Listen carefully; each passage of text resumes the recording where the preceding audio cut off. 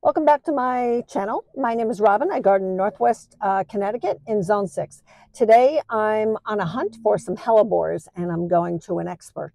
Um, in Northwest Connecticut, one of the really nicest nurseries in the area is the Falls Village Flower, Shop, uh, Flower Farm, Falls Village Flower Farm, owned by Tom Scott. And today we're going to go talk about hellebores, which really are one of the highlights of the winter garden. Hellebores are such an easy plant. I don't know why I've never put them in my garden. Um, they bloom in the winter, which is a time when there's nothing else going on. So let's go see what Tom has to offer and let's uh, get some great advice for him on these really easy care, easy growing plants. Um, so come with me and let's put a spotlight on hellebores. So here I am at Falls Village Flower Farm, one of my favorite nurseries. Um, and we're going to talk to Tom Scott today. Um, and he's going to talk to us about hellebores. So I thought we would do a spotlight on hellebores, why your garden has to have them, and uh, let's uh, let's get going. Okay, great, uh, Robin. Thank you. Um, yes, hellebores are a little known perennial uh, of the ornamental garden. They uh, originate native to uh, southern and central Europe. Um, they, they like to be uh, in the, most of them like to be in the uh, shady garden and uh, moderate uh, water. Uh, they, they bloom anytime between November through March. So you've got basically three different cultivars or, or, species, I'm sorry. the first one that blooms is your Niger, which is also known as your Christmas rose. All right, the Helleborus niger. then you go into January, February with the snow roses. the snow roses are a um, hybrid between the Niger and other species uh, from the Himalayas. Okay, then you got the uh, the most widely known uh, hellebore, uh, the orientalis, which is also known as the Lenten rose, because it blooms during um, the time of Lent um, in March or April, depending on the weather. Um, I say depending on the weather because most gardening questions start off with, well, it depends. Absolutely. it Especially depends. this year, oh my God. Oh, yes. yeah. Um, envir environmental conditions dictates what, what plants do. So, uh, yeah, the orientalises, the Lenten rose, uh, they bloom, uh, like I say, March, March, April. Um, now, uh, a lot of people will say, oh, does, does the flower point down, point up. Um, most of the orientalises do point down, um, but they are still worth the, the effort because they got beautiful colors. The orientalises has the, the, widest range of colors, um, anywhere from white to pink to yellow to purple, um, different spot um, formations. Um, the the Christmas rose. Yeah, I've seen some that look like they're almost black too. Are those yes. the Orientalis? Oh, those are the Orientalis. Got it. Right. Mm. Yep. Uh, the Niger uh, Christmas rose is strictly white. Um, and then the snow roses, uh, they're mostly white. Um, they have gotten some some a light red into them, um, some rose colors into them, um, but they're mostly white too. What zone are they? Uh, they're zone four to I believe eight. Okay. Uh, there's a big grower down, I believe, in Georgia. So if them. the um, if you're in a warmer zone, uh, can they take more sun? Uh, no, just the okay. opposite. If they're oh. like down in Georgia, oh. uh, it's strictly oh. oh right. strictly shade. Exactly. Yes. Okay. Yep. Sorry. Um, up here in the north, further north you go, um, they will take a little more sun. Perfect. Okay. Uh, the snow, rose, especially the snow roses, the snow roses will tolerate more sun uh, than the Nigers or the Orientalises. Perfect. Yep. Okay, now uh, when it comes to the uh, cultivation of, of hellebores, which is the care, um, they again mostly shade. Um, water, you don't want them too wet um, or, or, too dry. They're sort of in between. Uh, they will tolerate um, both ends of that spectrum. I do have one hellebore garden that faces directly west, west, um, and it gets full western sun. In fact, the last two years, they uh, come like August, they have been flat as pancakes, dried right out with that western sun and, and the dryness. As you all know, we've had quite a little dry wow. spell here, um, but they recuperated very well once the um, fall rains come. um, and they do just well. Now, uh, the rule of thumb for Hellebore orientalis is to cut back the old leaves um, in the springtime. Already, three years ago, I decided I was going to mine back out in late late autumn. Uh, the reason I do that is because come springtime, the flowers do come up rather early, um, and so it makes it difficult to not do any damages to those flower buds while you're uh, cutting off the old old old leaves. And also, if you get a real good snow, snow with snow. Right, what snow? snow. We have So, had no snow you know, here. So if you get a really heavy snowfall and it, it, it damps down the, the, the evergreen leaves, um, it, it makes it harder. They get mushy and whatever.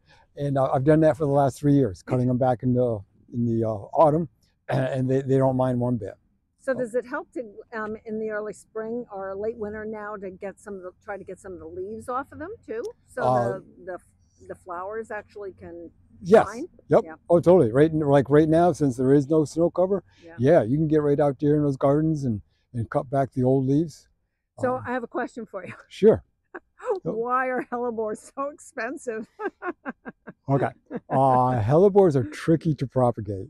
Um, the, the root systems really are tender. They don't like to be touched too too heavily, uh, too aggressively, um, and they also take um, a long time to get to seed.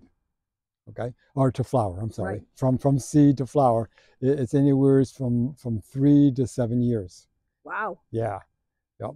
Um, later on, we can possibly maybe get um, a shot of um, some young seedlings in, in the gardens here Yeah. uh, to show you, you know, how big they are when they're like only two or three years old. Very cool. Yep. Let's let's go do that. Okay. Okay. So now we have some seedlings of the Helleborus orientalis. That's these guys here. Um, and these here are two years old. Already. So you can see how small they are. And that, that's two years old. Wow. That's a lot of work. That- well, yeah, it is. That's a lot of work for you guys to, Um, to yep. propagate Now, come this spring um, is when we'll be uh, going through our hellebore gardens and, and digging up these little seedlings and, and potting them up. And from there, it'll take us probably another three years to get something that'll be in the flowering, flowering age. So at this time of the year, we're gonna just clean up this old foliage, right? Correct. Yep. Okay. So, Go. alrighty. Um, so Robin has asked me to um, let you know what we do here at the nursery. Uh, we grow and propagate mostly herbaceous perennials.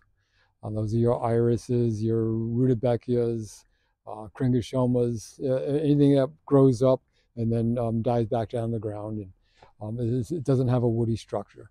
Uh, we do a few woodies, um, lilacs, hydrangea, paniculatas, and, and, a few um, um, ilexes, whatever. So, anyways, um, again, we grow and propagate everything we sell. We we don't buy in ready for sale plants, and I, I believe that's basically why uh, our perennials are, are really vigorous and, and hardy because they're adapted to to this zone. They start off very young here. Uh, we don't sell anything until it's developed a really good crown uh, and root system. Um, most of my help is always teasing me that I'm always pulling the plants out of the box because I'm taking a look at um, their root systems. Uh, you know the old saying, you got to get to the root with the problem, and that's where it comes from. you buy a plant and it doesn't do very well, it's probably because it didn't have a root system to it Right. already. Um, this area here is our potting shed. This is where all the magic happens. Uh, we, we get in um, young plants, uh, pot them up, and then we grow them up for uh, a year or so before we do sell them. we do all our propagating here. Most of our propagating is by divisions. Uh, we'll take uh, pot stocks and, and uh, use those for, for dividing. We'll, we'll also dig out of our display gardens once plants get too big, um, dig them up, um, divide them up, and then replant them back into the into the display gardens, and then pot up the rest of them.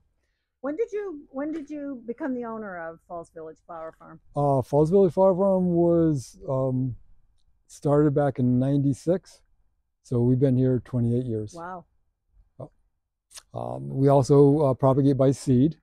Um, this this plastic area back here is a heated area where we do some seedings and also um, cuttings. We do dapple in a few cuttings. Then over here, um, we have uh, the nursery. Um, it is set up so that we have the um, retail area, which is out in front. And then in the back here towards the potting area uh, is our uh, growing area, which is the actual nursery part of a farm. So do you have um, plants covered? Uh, everything, all these, all these white coverings is all our plant stocks that Ah. we that we have. So one of the things we were just talking about is voles and mice and all that kind Yeah. of stuff. So you battle with that too. huh? Oh, you wouldn't believe the battle we have with voles and mice. Uh, they are ferocious eaters. Uh, in fact, our very first year, we didn't think about the rodents, and we lost a third of our crop. Oh my God. When, when we uncovered all this uh, white plastic in the springtime, it looked like they had a big orgy, man. I mean, just uh, fruit, roots and, and soil just Oh. scattered all over the place. now I don't feel so bad. No, no, we've got it down. Now, I've got about 40 mouse traps set um, underneath this white plastic along along the edges.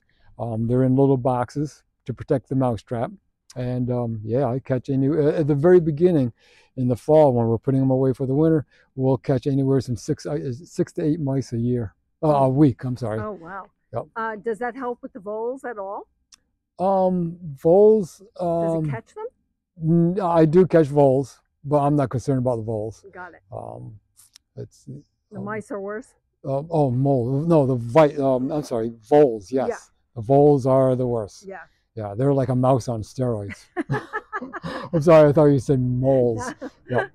So just to give you an idea what it what it looks like underneath here. Um,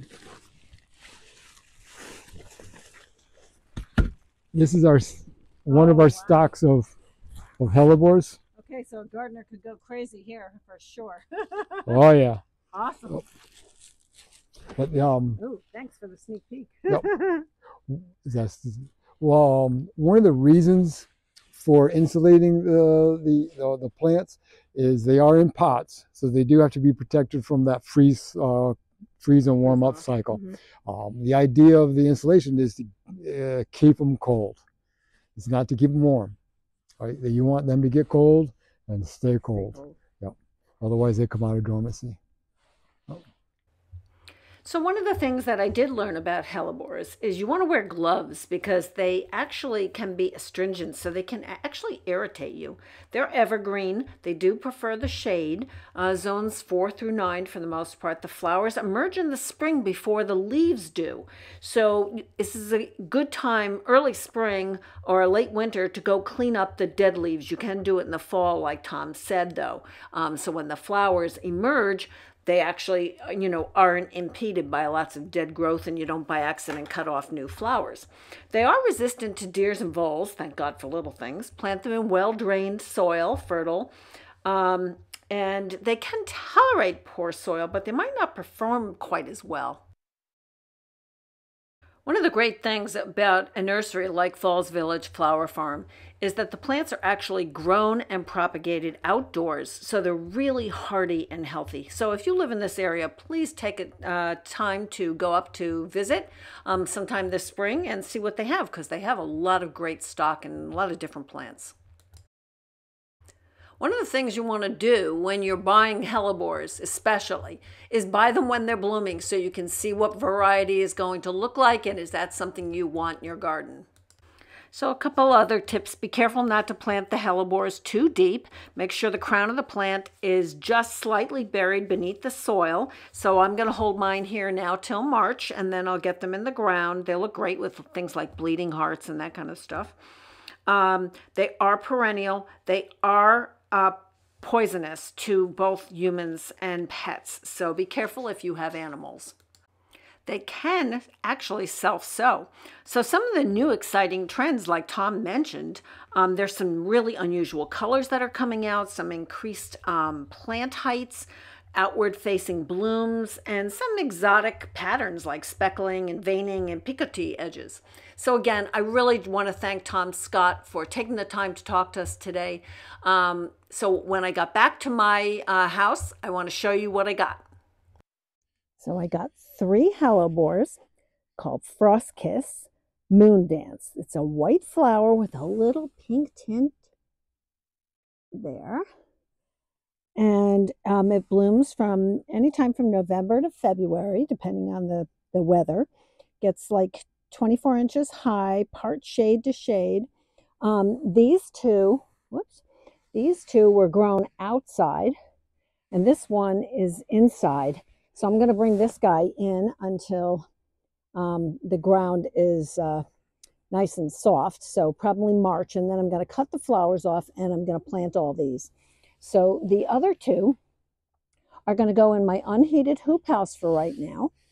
And they'll be totally fine there. So I'm going to put them down where I have the, um, uh, the tulips. Hellebores are great because they really fill in a space where nothing is blooming. And, you know, they come up at a time when their flowers are so scarce everywhere else. And we haven't gotten to the daffodils and the crocus and all that kind of stuff yet, especially here in New England. So just cut back that old foliage. And if you're interested in some hellebores and you live near here, give Tom a call at Falls Village Flower Farm. My thanks again to Tom Scott at Falls Village Flower Farm for giving us a tour, for talking to us all about hellebores. Please subscribe, hit that like button uh, if you'd like to see more content like this, and hit the notification bell so you don't miss the next video. And I will see you in the next video.